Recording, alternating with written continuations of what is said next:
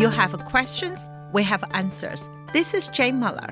And this is Ken Muller. Welcome to our show, all about real estate with Ken and Jane. And Jane, this is our New Year's edition. It's the first day of the new year, so we want to wish our listeners a very happy, healthy new year to start with. That's right, healthy and happy, and that's very important in today's uh, world. Yeah. yeah, happy New Year. Yeah, so the new year brings a lot of excitement, a lot of energy. Uh, there's a lot of hopefully there'll, there'll, be a lot of good things for the for our audience. Uh, but one of the things everybody unfortunately will have to consider getting ready to do at some point is to get their taxes ready. It's going to be tax season. It's going to be here before you know it.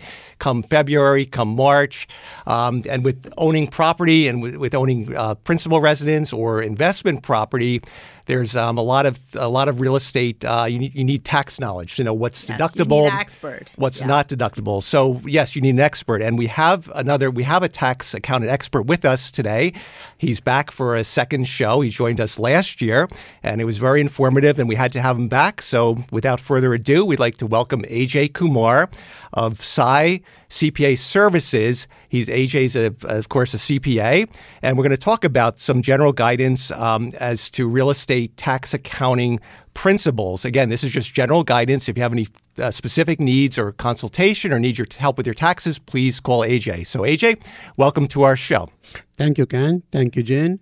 And a very, very happy new year to all our listeners. I'm happy to be here. Thank you for inviting me. Thank, Thank you. you. Hey, AJ, before we start, are there any rules or any chance that the IRS could eliminate the taxes? For like, uh, are you give like anything at all? Like, I wish uh, so. Yeah, or, or I, maybe. Or I don't think okay. you wish so because if that's so, the content will lose half of the business. Well, Uh, well, no, at least put more on the corporations and let leave the residents of New Jersey alone, right? uh, there are a lot of states who yeah, do that. Say yeah, Florida, Texas. There are some states that do not have the personal tax, and in Yeah. those states they try to recoup the money from the businesses. You're right. But the businesses, I guess, are already stressed to a certain point, so they have to get something from the residents. But we're not going to cover all about the, um, the, the taxes. We want to concentrate on the real estate aspect of what's deductible because our show is primarily about real estate. So we want to tie in, Absolutely. in, but uh, with home ownership or with owning investment properties, there's a large aspect. It's very important that the that the audience has some general ideas of what's tax deductible and what's not, so they know they can do their homework during the year or or you know, at this point and gather the necessary information. So when they go to see you or do it themselves, they have that, they have what's the knowledge they need to properly fill out the paperwork. Absolutely, Ken you rightly said a little bit of preparation can make a huge difference to the tax liability. So we cannot eliminate the taxes. IRS is not going to remove the taxes, but the onus, the responsibility remains on the listeners, on the individuals to do some homework prior to selling the house, buying the house, so they can plan for their taxes properly. Absolutely. So this show, we're going to try to cover the principal residence um, tax deductions, and then and then the latter half of the show uh, tie in the investment properties, what's deductible. So let's start with the principal residence. So in New Jersey, if you if it's your marital home, I guess it's defined as your principal residence, and let's talk about if anything is deductible, uh, assuming you don't sell the house first. Is there anything you can deduct, whether you have home repairs or um, you know a mortgage interest? So let's talk about that. Uh, absolutely. So if you are a homeowner, you need to listen to the show, uh, Ken and Jane show. There are certain deductions, including but not limited to property taxes, the mortgage interest. Uh, unfortunately, property tax is limited to ten thousand dollars, and it's not just property tax. Ken is SALT state and local tax. Property tax is a type of local tax it's paid to the municipality. So state income tax and local municipality tax, including the property tax, mm-hmm. is all limited to maximum of ten thousand dollars. Oh, so in other words, if I, if the if the um, the state or I'm sorry, the the property tax, let's say, is seven thousand, but then uh, and then the the other taxes you have are uh, four thousand, you can only claim uh, ten thousand. If the total is eleven, you you lose that one thousand is not deductible. Absolutely, especially in New Jersey, most homes have property tax over ten thousand. Most people work in New York or have W 2. So their state income tax is already over 10,000. So a lot of people in New Jersey loses the complete deduction for property tax because the SALT, state income tax, and local tax, including the property tax, is limited to $10,000. Right, and I believe that this this limitation was passed in the in the, the prior uh, Trump administration. It was a federal. It's a federal because IRS is the federal body because uh, I remember that New Jersey and the, some of the northeastern states where the taxes where the property taxes are typically could be more than 10,000 were hit the hardest whereas if you're in the Midwest or you know some of the you know more you know more property tax friendly states there was no real reaction but i remember in new jersey residents we reacted a little bit yeah. stronger because in, in new jersey uh, certain most property taxes. Not unusual to have homes with property taxes in, uh, exceeding ten thousand dollars per year. You are one hundred percent right, Ken.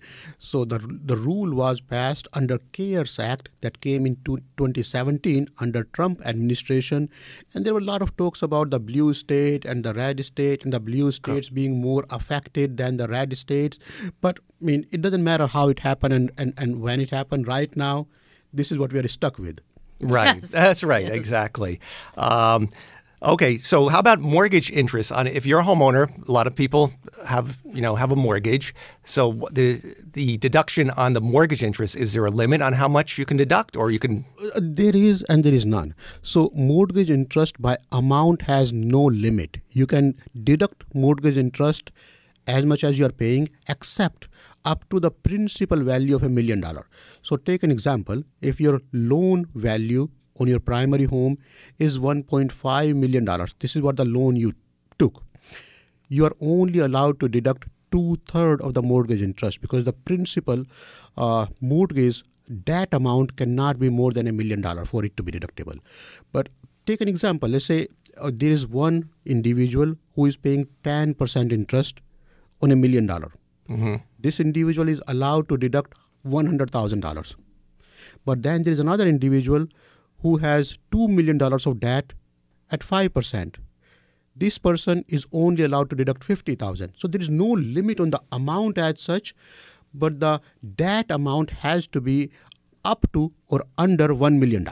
Okay, that seems That's like very important because right. uh, it's not the property purchase price a million or the value million. It is the debt, the mortgage Absolutely. is a million. Absolutely, Jane. You're 100% right, Jane. Mm-hmm. The mortgage interest about. In, yeah, yeah. mortgage amount. Mortgage amount. amount mortgage is amount is a below million, a million. Which is most of the people fill in that category. Category, but Absolutely. some may fall outside that category, yes, yeah. especially in New Jersey. You have lug- a lot of luxury homes in That's Colts right. Neck and you know other mm-hmm. areas where there's you know yeah. multi-million dollar property. So, over, but the majority, but, I mean, the mainstream like us, you know, right. definitely, you know, the yes. house not even worth a million, leave yeah. alone the loan. right, right, that's right. The, the property so, is not but, worth But it's it. interesting. I didn't know that. So there's not an unlimited cap. The cap is like as AJ well, just the said. amount so, is unlimited. Yeah. If your but, amount is less but, than a million dollar in debt, if, as long as it, yeah, and let's say you are paying hypothetically thirty percent interest, you are allowed three hundred thousand dollars deduction. Yes. Mm-hmm. So there is no cap on the amount as such. Is the mortgage debt? Debt. amount, that amount is a million dollar cap. Mm-hmm. Right.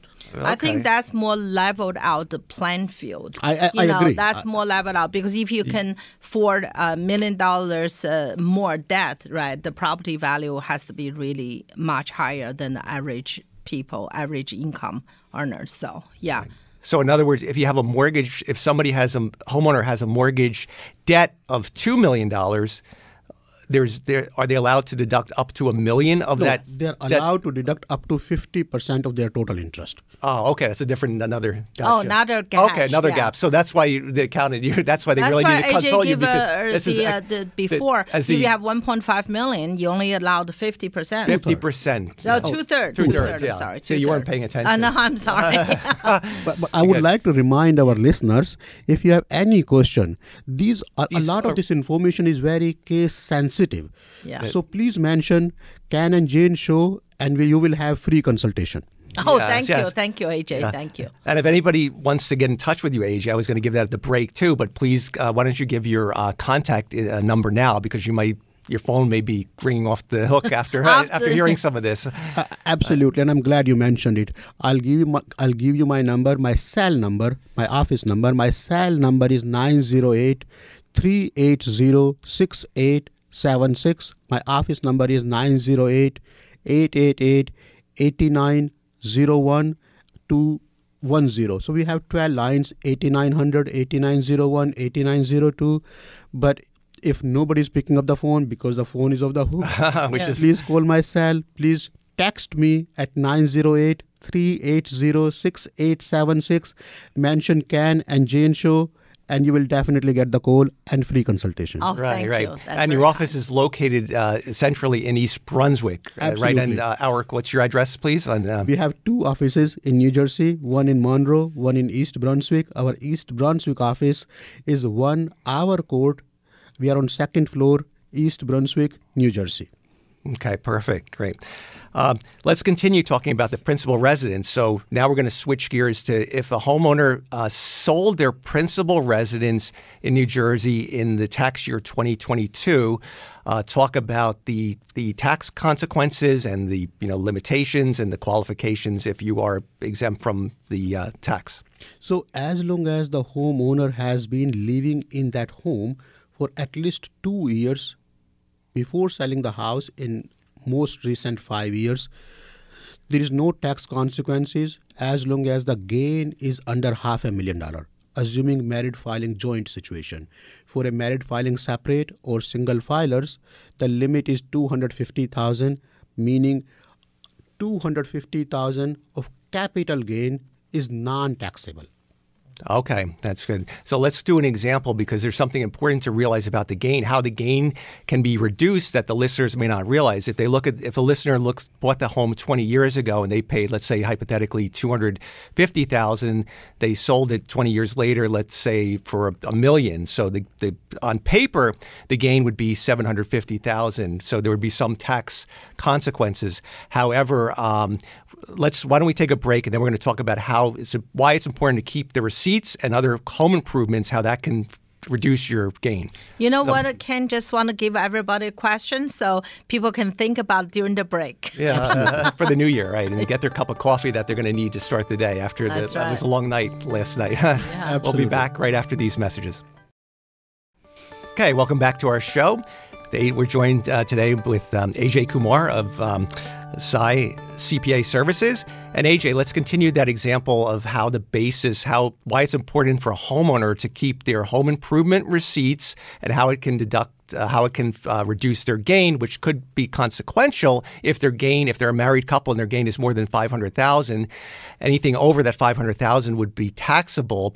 But however, you can homeowners can uh, do certain things with home improvements, like if they put fifty thousand into improving their kitchen and and other things. So if you can expand on on that principle, please. Absolutely, absolutely Ken. So uh, the way it works, your basis in the property is the purchase price, including the commissions that you had to pay to anybody, uh, plus all the improvements, capital improvements that you have done in the house, including but not limited to painting the house, fixing the kitchen, fixing the bathroom.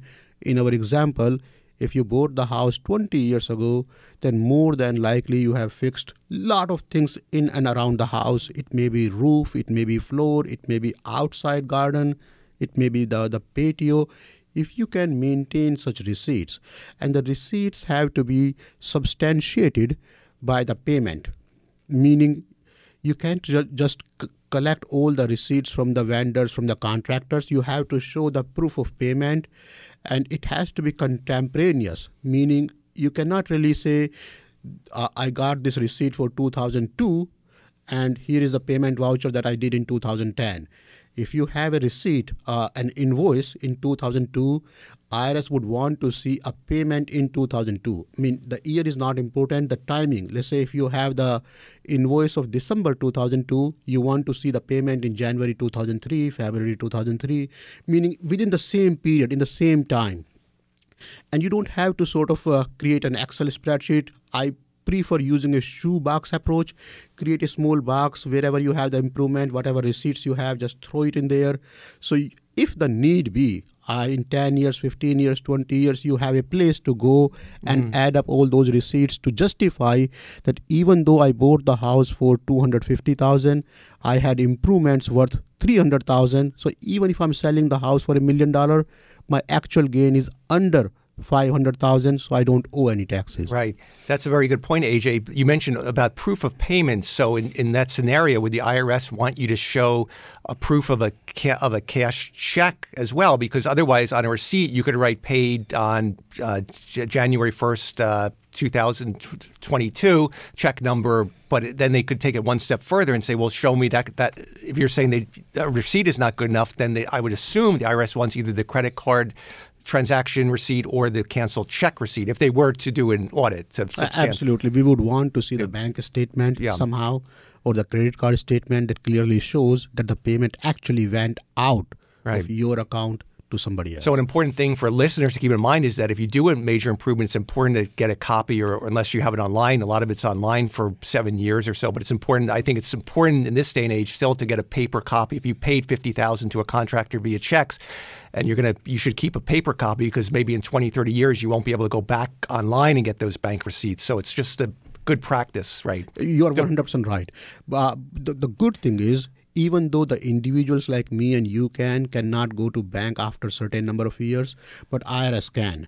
If you have a cancelled check, if you have a proof of check, IRS can summon the bank and verify if the check was paid. or Oh not. well, that's that's comforting too. Yes, that's good. That's a little. That's a fail-safe feature. A- absolutely. Ken, that's comforting. Only they want to catch you. Right. It's not like you Yeah. claim the IRS going to go there help you to get a receipt. If you don't have a receipt, Right, but you may not but able tru- to. But it's good if you truly did have the Yeah. receipt and, and you lost, you couldn't find the check, the canceled check. Then it then it's It has um, to be big amount. Yeah. I think that the, today's the, the day technology is so uh, advanced, right? I mean, you have a receipt, you have a payment check or credit card. Just take a photo and save that in your, Your Google Drive, yeah. and that would be there always. you know, like uh, make a year to you know 2023, and today's the first day. You just start a year. So whatever you make that, so you don't have to in your fingertips, right? so a lot of time our client asks for some past years uh, information. Used to be we have to put a request in, dig out the box. The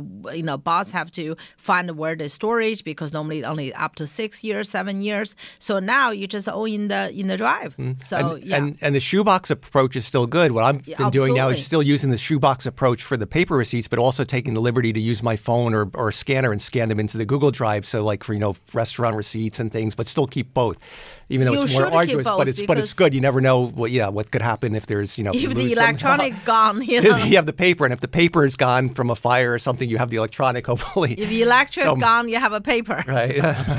Absolutely. So, okay, good. Let's talk. Let's switch gears now and talk about investment properties. We we spoke. Let's talk about what what's deductible for the landlords in New Jersey on a federal and state level. If you have an investment property and you have uh, repairs during the year, pest control, cleaning services, um, and miscellaneous.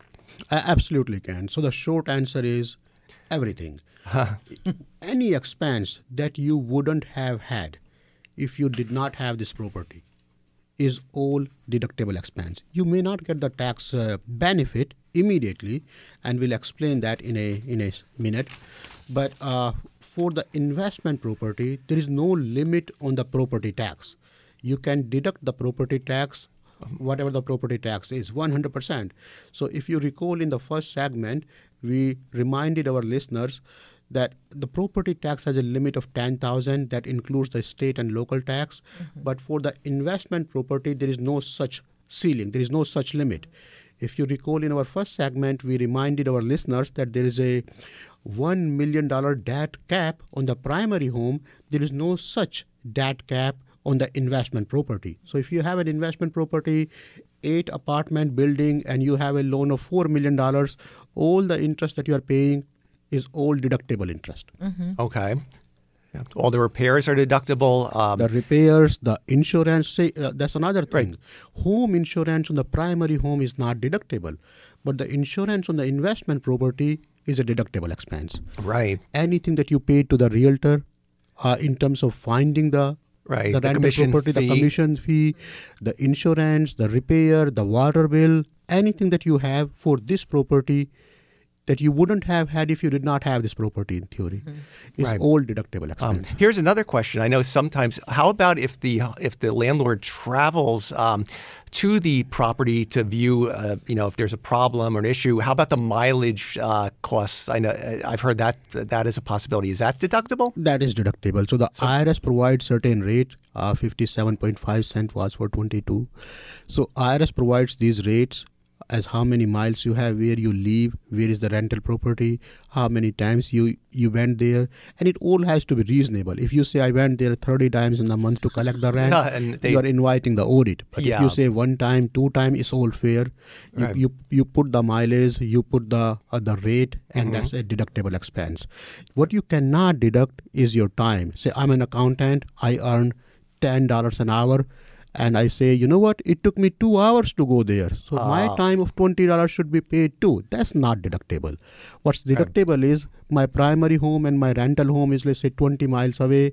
I went there two times, going there, coming back, total 80 miles at 57.5 cent. That's what's deductible. hmm What about appliances? Uh, Typically, with rental properties, like like everything in life, things break. Refrigerators, washer, dryers. After a certain amount of time, things don't last forever. Unfortunately, that's just the reality of, of the world we live in. How are um, how are capital improvement expenditures um, um, accounted? F- yeah, I guess accounted for. We're talking about accounting. That's the best word. Accounted for in, in the accounting scheme. So for the residential property, we typically use 27.5 years of depreciation on the main uh, structure. But then you know the appliances don't last 27 years anymore. Yeah. so then for the appliances, we have to use either five years or seven years, depending on the type of appliances. Longer the duration you use, lesser benefit you are getting for the depreciation. Because let's say if you bought something for seven thousand dollars and you choose seven years depreciation, Yeah, let's say a refrigerator. Let's say you got a Definitely. super, the best refrigerator, which is probably is uh, probably not even seven, that probably much more. But let's but let's, say se- seven thousand. and you use seven years of depreciation, then you are uh, claiming one thousand dollars every year for next seven years, as opposed to using five years of depreciation, we are using fourteen hundred dollars of deduction. So IRS prefers you use longer duration as opposed to the shorter duration. If you are buying a refrigerator and trying to push for three years of depreciation, you are inviting problem. Ah, So, and you have to also know that a lot of rental losses, let's say your total income is $30,000 in the rental income and your total expenses, including depreciation, mortgage interest, property tax, everything is $36,000. Right. So, in theory, you have a loss of $6,000 that you are trying to get the benefit. But on your tax return, you will find that is being pushed as a passive loss and your income is not coming down. You're still paying tax on the same amount. Mm-hmm. And the $6,000 is a suspended loss. You're not getting the tax benefit.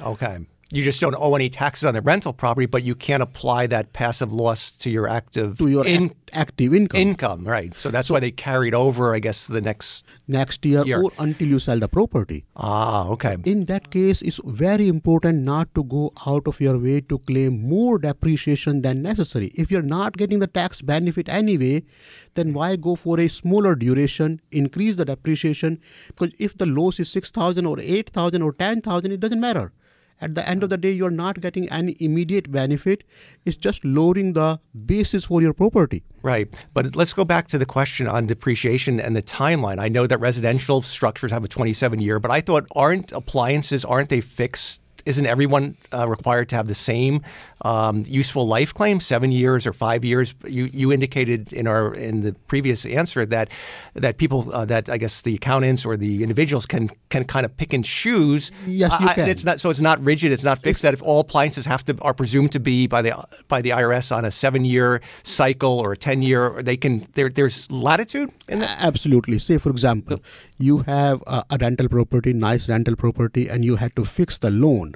The loan is not going to last seven years. The loan will have much lesser duration. So there is a study. It's called cost segregation study.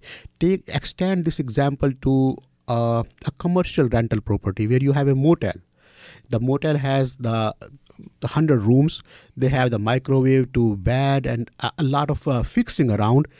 In that case, having a cost segregation study will be very helpful, where you can have the assets divided into three years, five years, seven years, and twenty-seven or thirty-nine years type of bucket to claim the right depreciation. I see. So I guess the follow up question is: Are the buckets fixed by the IRS? That either you, your choice are either three year, five year, seven year, or the twenty seven year. Uh, there's 10 years oh, as well. Okay, so you can. It's not totally random, but you have to. So the so the taxpayer or the accountant is given the the latitude, some discretion as to what bucket to place the Absolutely. appliances in based on the scenario. If it's if it's in a motel where it gets a lot of wear and use, it could be on a on a shorter. Sca- Scale because the likelihood is it would could wear out after three years, or maybe some apartments that get a lot of heavy, you know, maybe with college kids that are using it, they're gonna the refrigerator won't last for seven years, only lasts for And really So- depends on how how expensive its appliances get. A- For ab- example, absolutely. if And- you have a rental property, you have a fifteen hundred dollars refrigerator, fifteen hundred or a thousand bucks, you could obviously three years, uh, five Absolutely. And years. you don't But have to have it new. Yeah. Sometimes we have these used equipment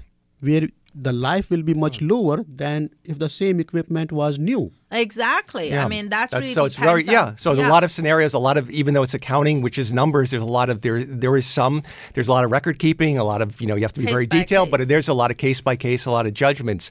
Unfortunately, we're out of time, and uh, I want to cover the uh, 10 um, 1031 exchanges, which we didn't get to. Uh, do you have a chance to come back next week so we can talk about that next Sunday? Absolutely. All It will be my pleasure. All right, Thank great. you. We're going to have you back next week. And AJ, once again, uh, can you please give the listeners your contact information so they can reach out to you? They're going to they're to need help. Uh, absolutely. It's my pleasure. Thank you. Uh, so my cell number is 908-380-6876. AJ Kumar, CPA. If I'm not able to pick up your phone, please mention Ken and Jane Show. The consultation is free and I'll be happy to take your call. Just text me, email me, or give me a call. Thank you. And I will see you next week. I'll uh, be with you next week. Happy New Year, everyone. Thank you so much, AJ, for taking time to be with us on this on this New Year's Day. We want to wish again everyone a happy and healthy New Year. Thank you. Thank you.